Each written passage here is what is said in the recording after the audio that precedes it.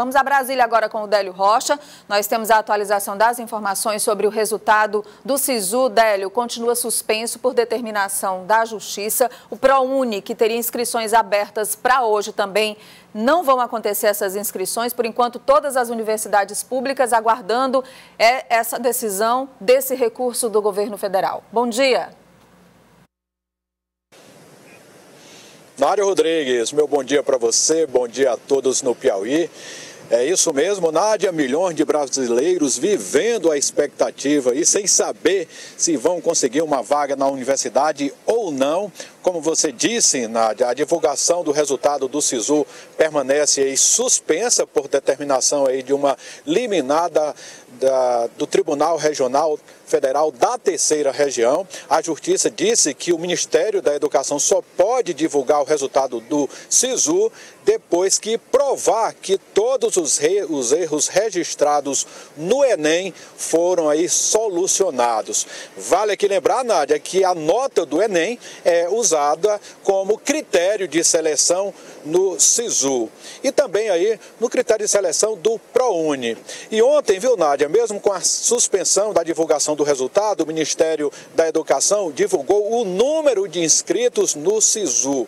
Cerca de mil, 1 milhão e 800 mil brasileiros fizeram inscrição. Na soma total foram 3 milhões e 500 mil inscrições, já que cada candidato pode é, disputar e concorrer, é, pode se inscrever em duas universidades, Nádia, ou dois cursos. Agora, no caso do ProUni, viu, Nádia, aí também é, o governo até abriu, liberou o acesso para que os candidatos possam ver onde vai ter vaga, né, qual cidade, qual curso, mas eles ainda não podem fazer a inscrição. É, o ProUni que libera bolsas de estudo, né, parciais e integrais em universidades privadas. E este ano serão ofertadas cerca de 250 mil bolsas.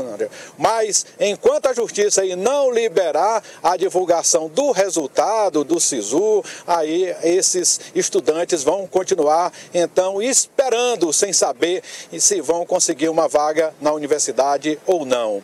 Nádia que não tarde, Délio, porque 1 milhão e 800 mil pessoas né, que estão esperando. As universidades têm um cronograma, um calendário para cumprir também.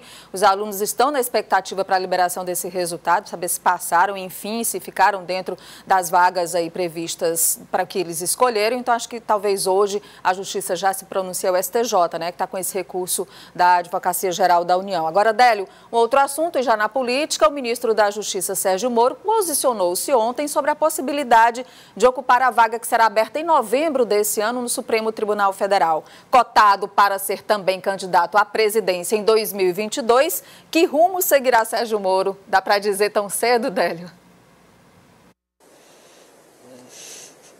Olha, Nádia, Sérgio Moro, né, que é o nome mais com maior popularidade no governo, eu diria que ele alimenta as duas possibilidades aí.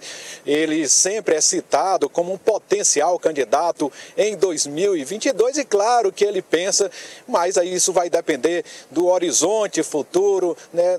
Isso só lá na frente que ele tomaria uma decisão tão importante quanto essa. É, mas ontem, numa entrevista para uma rádio é, nacional, uma rádio de São Paulo, Nádia, o ministro Sérgio Moro diz que em 2022 vai apoiar a reeleição do presidente Jair Bolsonaro. Ele disse que isso é uma questão de lealdade, que vai estar sim com o presidente Jair Bolsonaro. Agora, em relação a essa vaga do STF, sobre uma possível indicação dele para um cargo na Suprema Corte, Nádia, Sérgio Moro disse que prefere falar quando a vaga existe.